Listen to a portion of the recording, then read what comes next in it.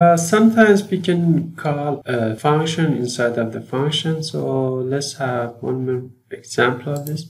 So let's get back to the max of two numbers that we have. Let's uh, use this function. Here I put 2 and uh, instead of the giving one more number I use another call of the function so here I call 1 and 4 so basically, for each of the, these values, you can call another functions that you have.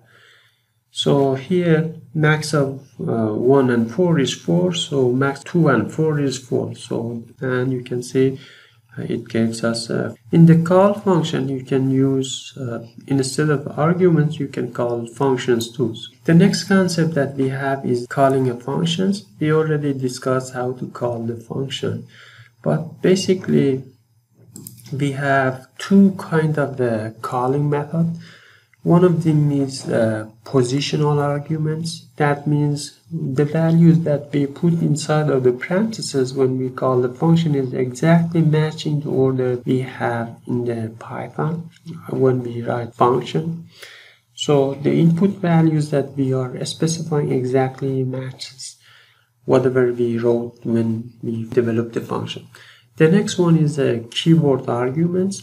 In this type, we type the name of the arguments and put the equal and the value. For example, the, in the char function that we had, we say the number one is 5, the operator is deviation, and the number 2 is equal to 2.